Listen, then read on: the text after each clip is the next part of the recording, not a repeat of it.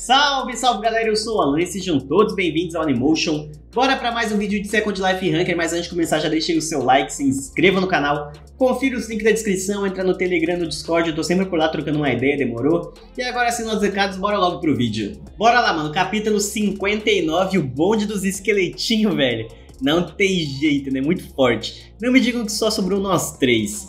Merda, porque algo, diabos algo assim aconteceu, né? Porque você foi se meter com um cara que você não dá conta, pô. Espera, vocês ouviram? Quem que é, mano? Algo está vindo. Ah, é o Caim, né, mano? Olha lá. Olha como ele vem. Pô, pior que dá até um medo dele aqui com essa roupinha, né, mano? Essa máscara do cara aí. Algum de vocês quer viver? Viu? Ele só precisa de um, tá ligado? Alguém vai ter que dar o recado, né? Vou dar a chance para uma pessoa. Mano, nessa hora aí, tiozão. Todo mundo foi de berço. Você disse que faria qualquer coisa, não é? Sim, por favor, não me mate, eu tenho um filho. e eu com isso, tiozão, basta. Os caras que te indicaram minha localização, vai e diga para eles agora mesmo que se algo assim acontecer mais uma vez, eu vou fazer com que eles sejam apagados da existência. Cara, Mordomo quis pagar pra ver aí, ó, vai ter que pagar com a vida, né? É só isso? Por quê? Precisa de mais alguma coisa? Não, senhor, vou ter certeza de falar claramente. Não, vou avisar a eles, pode deixar comigo. É, vai lá, né? Pelo menos você viveu, né? O resto teve que pagar com a vida, né? Ó, o Gno, vai atrás dele, né? Siga ele. Gno vai seguir o jogador e encontrar quem espalhou informações sobre mim. Depois de seguir seu rastro, uma pessoa por vez, vou arrancar esse problema pela raiz de uma só vez. Mano, pelo jeito lá o mordomo lá, o garçom, cara, muito burro, né, mano?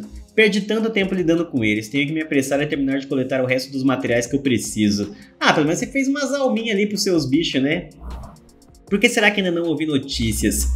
Várias horas se passaram desde que a informação foi enviada para vários clãs da cidade. Devido às preparações para a guerra do clã vermelho e do clã da espada, né? Um grande número de clãs se reuniu na cidade quartel e a informação sobre o acumulador foi vendida por um grande preço.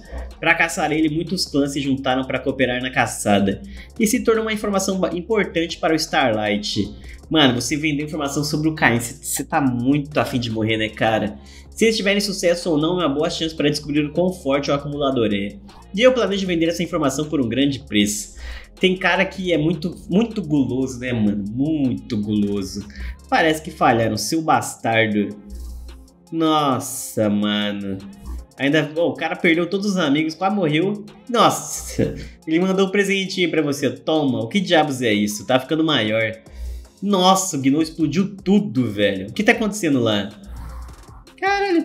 Mas pior, pior que, tipo assim, se, por exemplo, um dos bichos dele. É que os bichos dele não morrem, né? Mas meio que se o cara destruiu os esqueletinhos, eles voltam pro, pro Caim, o Caim pode invocar de novo. Se pá, mano, acho que sim, né?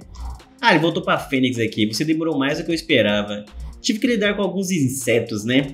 Parece que algo aconteceu. Mas parece que você conseguiu achar todas as coisas que precisava. Eu consegui ganhar várias coisas, na verdade. Que bom. Agora podemos começar, sim. O que ele vai fazer? O que ela vai fazer, né? Parece que você selecionou apenas os melhores ingredientes. Jogando por isso, percebo que você é uma pessoa minuciosa.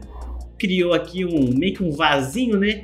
Está pronto? O que acha? Faz um tempo desde que criei algo dessa qualidade. Chama da Vida Superior foi criada. O recipiente feito para carregar a alma da Fênix, a Chama da Vida começou a brilhar. Missão secreta foi completa, né? Você adquiriu Chama da Vida Superior. É, e um, ah, os dois irmãos, né? Receberam uma nota perfeita novamente. Tudo bem, vou ganhar dessa vez. Como você desliga o videogame só porque perdeu? Ah, tá lembrando das memórias dele, né? Essas são minhas memórias de infância quando eu não tinha nenhuma preocupação e perdia dias e rindo, dia, perdia dias rindo e brincando.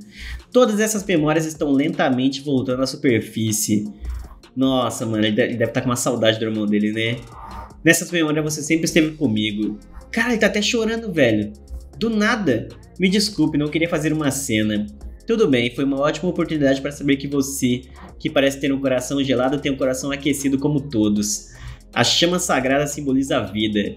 Não importa quem você é, memórias serão uma âncora segura e constante contra os problemas da vida que te esperam. Até pode-se dizer que a vida é feita de camadas de memórias. Ah, meio que quando ele olhou pra chama da vida, ele meio que bateu umas memórias antigas nele de nostalgia, de felicidade, né? Eu não sei o que você viu, mas essas memórias te ajudam a se manter. E vão continuar a fazer isso enquanto você vive sua vida. Então certifique-se de apreciar essas preciosas memórias. Obrigado. Pô, que da hora, mano. Da hora pra caralho, velho. Bora lá, rapaziada. Capítulo 60. E olha o chip como vai, né? Minha filha mais nova ficou bem apegada ao seu ovo enquanto você esteve fora. Parece que ela está triste de se despedir de seu amigo, já que ela sabe que você vai embora logo. Eu acho que devo vir visitar o andar 11 primeiro, né, ocasionalmente. Depois de completar a missão daqui. Já, agora já devemos começar. Como, o que, que ele vai fazer aqui? Ah, vai colocar no ovo, né, mano? Oh, é raro ver um tão grande, mesmo antes de chocar. Poderia ser um dragão mítico. Caralho, o tamanho do ovo, pô. É um, ovo de avestruz aqui? Ah, mas ficou meio verde, parece um ovo de réptil, se pá, né, mano? Já pensou se nasce um lagartão aí, mano? Se bem que um dragão é meio que um lagarto nesse pá, né? Bom, sei lá. O que, que elas estão olhando aí? Ué, o bagulho não vai chocar não, caralho? Mesmo depois de esperar por um longo tempo, o ovo não chocou. É minha primeira vez também. Eu consigo ver que claramente o familiar dentro do ovo está completamente desenvolvido, mas por alguma razão está se recusando a sair do ovo. Ué, o bagulho não quer nascer, caralho? Tá louco? Vamos dar um tempo e observar o ovo por enquanto, já que ele pode mudar de ideia e decidir sair a qualquer momento. E vão ficar lá, né, certo? Depois disso, Caim e a Fênix criaram muitas outras chamas da vida e deram para o ovo. Mais chama? Porque a Fênix sugeriu que o familiar podia não estar saindo porque precisava de mais. E mesmo assim, caralho, olha o tamanho do ovo, mano. O que, que vai nascer disso aí, velho? Mas apesar de tudo isso, ele ainda se recusava a sair. Isso tá me deixando louca. Caralho, o bagulho não vai nascer, tiozão. Já que isso ainda está assim, essa pode ser a razão. Você tá pensando em algo? Motivação. Isso mesmo, motivação. Como você sabe, sonhos são primordiais para todos os familiares. Eles nascem dos sonhos e vivem em busca deles. E em lugares onde não existem sonhos, eles sentem que não há motivos para nascerem. E pior é que acho que ele não tem sonho, né? Que eu saiba, a maioria dos humanos tem sonhos pequenos ou grandes. Então, se as memórias sustentam a vida, os sonhos seriam o motor da vida? Praticamente, né? Você tem um sonho? Putz, mano, um sonho, cara. Como a Fênix mencionou, não tenho algo como um sonho. Mesmo se tivesse, seria apenas uma coisa chamada vingança, né? Mas isso não é um sonho, é um objetivo. Cara, por eu já pensar, se você tem um sonho, não sei se eu tenho um sonho, tá ligado? Meu sonho é nunca precisar trabalhar na vida, né? Porra, ficar só o dia inteiro vagabundeando, dormindo. Cara, meu sonho era esse, né? Mas fazer o quê, né? Eu sempre acreditei que sonhos eram coisas incômodas e triviais. O que, eu, o que no mundo eu faço agora? Mano, você veio me alegrar, Chip? Pô, Chip é um nome muito feio, né? Você está me dizendo que seu amigo só está dormindo e que não devo me preocupar? Beleza, né? Tudo bem, se é de motivação que ele precisa, então tudo que tem que fazer é com que ele não precise mais disso. Cara, o que ele vai fazer, mano? Pô, eu tenho até medo do que esse maldito vai fazer com o ovo. Eu só vou continuar dando mais chamas da vida até que ele fique satisfeito. E se isso não funcionar, Vou alimentá-lo com a energia das outras três bestas. Mano, ele vai deixar o ovo gorducho, tá ligado? Vamos ver se ele vai ser capaz de ficar dentro daquele pequeno espaço. Depois de ser alimentado até que sua barriga exploda. Caralho, que moleque tarado, burro. Mano, ele é muito maluco, né? Muito maluco, velho. Você é o senhor Caim? Quem que é esse maluco aí, velho? Oxi. É o maluco da tribo de um chifre, né? Prazer em conhecer, eu sou Iano. Vim entregar uma carta da, do senhor Fante e da senhorita Edora. Ah, eles vão avisar que eles vão poder colar aí porque eles foram pra guerra, né? Não tinha muito escrito na carta, foi mencionado que a tribo de um chifre tinha um compromisso importante. E sendo da realeza, Fante e Edora foram chamados de volta. Eles se desculparam por não terem avisado até agora. E disseram para não se preocupar, adicionando que seguiriam depois que tudo fosse completado. Ah, da hora, né? Fante e Edora estão bem? Sim, senhores, estão bem, principalmente o senhor Fante. Ele ainda é o mesmo de sempre, né? Então tudo bem. Por acaso tem algo te preocupando? Porque, na verdade, nossa princesa me disse, mesmo ele sendo perfeito do jeito que é, cara, ele é perfeito do jeito que ele é, né? Se tiver algo que ele precise, certifique-se de ajudá-lo de algum jeito. Ah, da hora, né, mano? Posso ter essa aparência, mas sou herdeiro dos médiums, sou confiável, eu, gar eu garanto.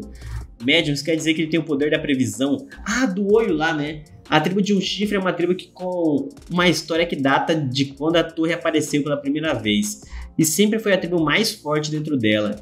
Muitos fatores os ajudaram a manter essa posição, como a sua poderosa força e sua política de neutralidade, mas tinha um fator importante: médiums. Também conhecido como profetas ou videntes, eles são aqueles aptos a se comunicarem com Deus que a tribo de um chifre serve. E eu vi que o dever dos médiums da tribo de um chifre é ouvir as mensagens de seu Deus e passar para a tribo. Por isso que ele. Ah, e ela meio que. A Edora, ela é meio que o bagulho desse, de médiums, né? Não se sabe muito sobre eles, porque o conteúdo de suas mensagens são miraculosas e muito precisas. Para os proteger dos que querem os seus poderes, a tribo mantém a identidade dos seus médiums como um segredo bem guardado. Eu sei o que tá pensando, mas eu não sou tão incrível como tu você imagina, então não se preocupe. Não é como se eu fosse o único sucessor. Até tem outra pessoa que é confirmada como sucessora. Mas isso não quer dizer que minhas habilidades são fracas, então me dê uma chance. Ah, ele quer perguntar do se esse é o caso. Então, que, o que você está me falando é que precisa usar a habilidade de inspeção da senhorita Edora. Ah, ele vai usar no bracelete, né? Por enquanto. Então você pode vir comigo, que tem de tão difícil em vir para a tribo. Mas a tribo não está no meio de coisas importantes? Verdade, é importante. Mas aquilo e aquilo e isso, e na verdade tem mais de um ancião na tribo querendo te conhecer. Isso não é como matar dois pássaros com uma pedrada só? Pô, esse maluco aqui tá full perdido, ele não sabe o que, que ele faz da vida, né? Acredite em mim. É, no fim o Caim vai junto, né? Pensando nisso, a tribo de Unchi foi uma das primeiras a participar da torre. Então eles devem saber muitos segredos da torre. Visitar a tribo pelo menos uma vez deve ser benéfico no mínimo. É, acho que vale a pena, tipo, dar uma passadinha lá, não tá fazendo nada mesmo, né? Então melhor que nada, tá ligado? Então é isso aí, rapaziada. Muito obrigado a todos pela presença. Antes de sair, deixa aí o seu like, se inscreva no canal. Também confira os links da descrição, entra no Telegram, no Discord, tô sempre por lá trocando uma ideia, demorou? Amanhã tem mais vídeo de Second Life Ranker, ou hoje à noite, né? Depende do horário que você tá vendo esse vídeo, demorou? Então eu te vejo lá e nós estamos juntos, valeu e falou!